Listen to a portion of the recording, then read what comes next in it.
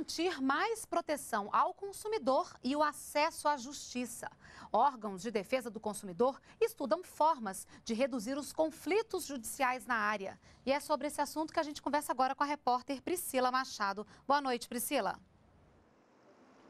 Boa noite, Renata. Um encontro aqui em Brasília discute até quinta-feira maneiras de melhorar o acesso do consumidor à justiça e também formas de reduzir conflitos judiciais na área. Sobre o assunto, eu converso com a Juliana Pereira, do Ministério da Justiça.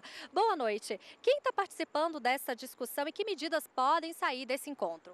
Essa discussão estão participando o Ministério Público, a Defensoria Pública, o Poder Judiciário, os PROCONs e o Ministério da Justiça. A ideia é criar uma articulação ainda maior entre esses atores para melhorar a efetividade dos direitos do consumidor no Brasil. E também reduzir os custos, né? Que são altos os custos envolvidos nessa questão. Uma informação discutida hoje no encontro é que uma ação nos juizados especiais, uma ação de proteção ao consumidor, de direito do consumidor, custa R$ 1.700 para o Estado brasileiro.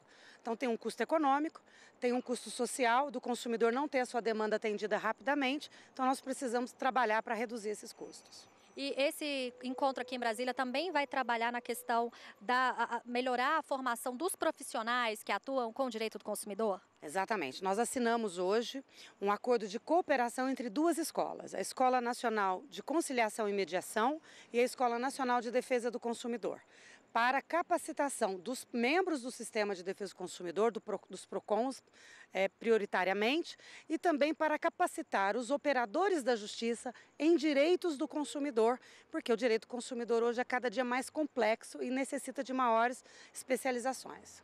Muito obrigada pelas informações. Mais detalhes, mais informações sobre esse encontro no site, na internet, no site do Ministério da Justiça.